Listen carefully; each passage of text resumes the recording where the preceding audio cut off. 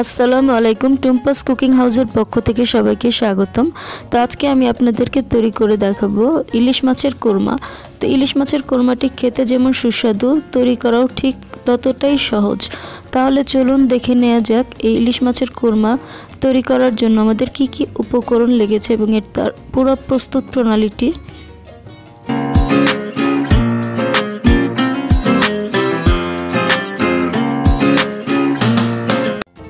এই ইলিশ মাছের কোরমা তৈরি করার জন্য আমাদের লাগবে ইলিশ মাছ। তো এই ইলিশ মাছগুলোকে আমরা প্রথমে কেটে ভালো করে ধুয়ে নিয়েছি। তাহলে চলুন, এবার চলে যাওয়া যাক মূল রান্নাতে। তো আমরা প্রথমে একটা কড়াইতে তেল গরম করে এতে পেঁয়াজ বাটা দিয়ে দিব। তো পেঁয়াজ বাটাটাকে তেলের সাথে ভালো করে ভাজতে হবে।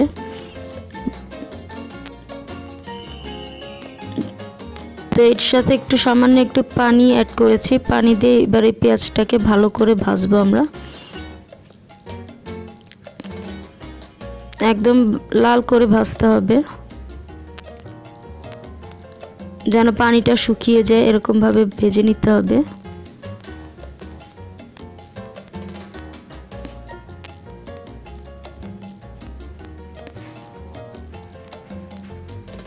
তো এবার আমরা একটু সামান্য একটু লবণ দিয়ে দিচ্ছি।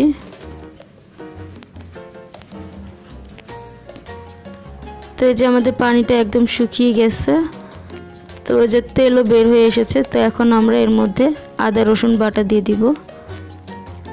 তো আদা, রসুন বাটা এর সাথে সামান্য একটু পানি দিব। তো পানি দিয়ে ভালোভাবে এটাকে আবারও ভাজবো।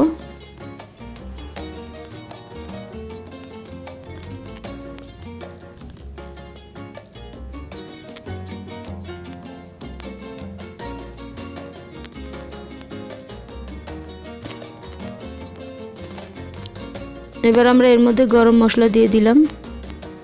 তো গরম মশলা দিয়ে একটু ভালো করে আবার ভাজতে হবে। মশলার কাঁচা ভাবটা দূর হওয়ার পর্যন্ত ভাজতে হবে। তো আমরা এখন এর মধ্যে কিছু কাঁচা মরিচ কেটে দিয়ে দিচ্ছি। একটু ঝাল ঝাল হবে। তো আমরা একটু ঝাল ঝাল খাব, এই জন্য একটু ঝাল দিলাম। তো আপনারা চাইলে ইচ্ছা করলে মরিচটা নাও দিতে পারেন। তো আমরা আগে আগে দিলাম কিছু মরিচ। আবার কিছু মরিচ দেব পরে। তো যে এখন আমরা একটু সামান্য ভাজা পেঁয়াজ দিয়ে দিচ্ছি। তো পেঁয়াজটা আমরা আগেই ভেজে নিয়েছিলাম। তো পেঁয়াজ ভাজা দিয়ে আর সামান্য একটু পানি দিলাম। দিয়ে এটাকে ভালোভাবে কষাতে হবে মশলাটাকে।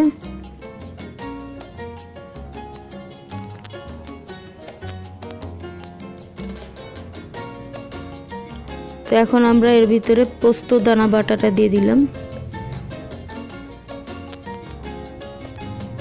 তো আপনারা ইচ্ছে করলে পোস্ত দানাটা অ্যাভয়েডও করতে পারেন। তো আমরা এখানে পোস্তর দানাটা দিয়ে দিলাম। এটাকে একটু ভালো করে কষাতে হবে।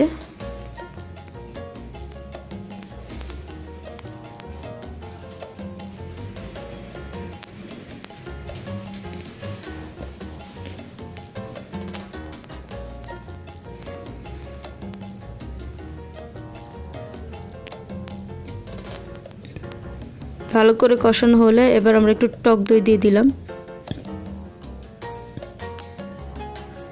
টক দই দিয়ে ভালো করে কষাতে হবে আবার।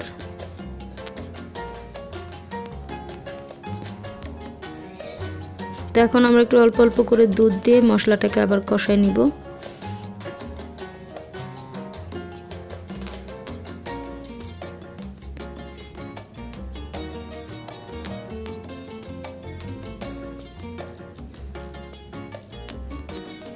তো যে মশলাটা আমাদের প্রায় কষানো হয়ে গেছে, তো এখন আমরা একটু সামান্য চিনি দিয়ে দিলাম। চিনিটা দিলে কালারটা একটু চেঞ্জ হয় আর একটু মিষ্টি মিষ্টি হয়। তো কোরমাটা তো আসলে মিষ্টি খেতেই বেশি ভালো লাগে। তো এই যে এখন আমরা ঝোলের জন্য দুধটা দিয়ে দিলাম। তো এর সাথে সামান্য একটু পানি অ্যাড করেছি।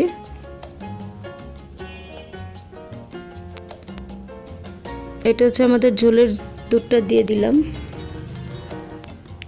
তো এখন আমরা এটা বলক আসা পর্যন্ত ওয়েট করব। তো এই যে আমাদের দুধটা বলক এসে পড়েছে, তো এখন আমরা মাছগুলোকে দিয়ে দিচ্ছি। তো মাছগুলোকে কিছুই করিনি, শুধু মাছটাই দিয়ে দিলাম। মাছ কোনো ম্যারিনেটও করিনি, একদমই নর্মাল যেভাবে আমরা কেটে রেখেছি, ধুয়ে রেখেছি, সেই মাছটাই দিয়ে দিলাম।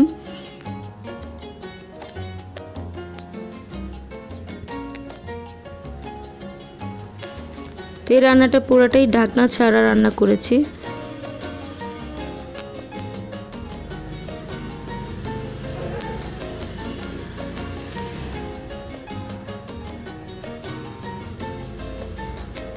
তো যে এখন আমরা বাকি কাঁচা মরিচগুলো দিয়ে দিলাম। তো আপনারা ইচ্ছে করলে আস্ত দিতে পারেন, তো আমি একটু ঝাল ঝাল হবে এই জন্য কেটে কেটে দিচ্ছি, আর কিছু আস্ত মরিচও দিয়েছি।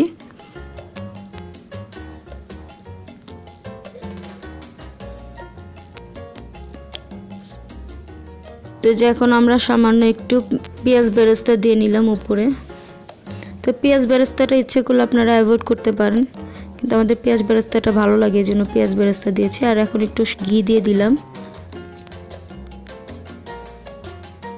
তো যে আমাদের রান্নার রেসিপিটা প্রায় হয়ে গেছে কমপ্লিট হয়ে গেছে। তো এখন আমরা আর একটু পেঁয়াজ ভাজা দিলাম, বেরেস্তাটা দিলাম। দিয়ে একটু ভালো করে একটু নেড়ে দিচ্ছি।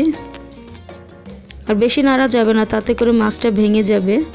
তো এই জন্য আমরা হালকা আস্তে করে একটু ঘুরিয়ে দিলাম। আর কোন, কিনারা থেকে যে, আমরা চামচ দিয়ে, খুন্তি দিয়ে আমরা মশলাগুলোকে নামিয়ে নিচ্ছি। তো যে আমাদের মাছটা প্রায় রান্না হয়ে গেছে, আমরা আর একটু রাখব, তারপর নামিয়ে নিব। তো এই যে আমাদের মাছ রান্না করা হয়ে গেছে মাছের কোরমাটা। তো যে আমরা নামিয়ে নিচ্ছি।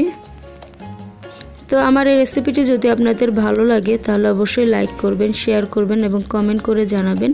আর যারা এখনও আমার চ্যানেলটিকে সাবস্ক্রাইব করেননি, তারা প্লিজ আমার চ্যানেলটিকে সাবস্ক্রাইব করুন এবং পাশে থাকা ছোট্ট বেল আইকনটি অন করে দিন। তাহলে আজকে এই পর্যন্তই। আল্লাহ হাফেজ।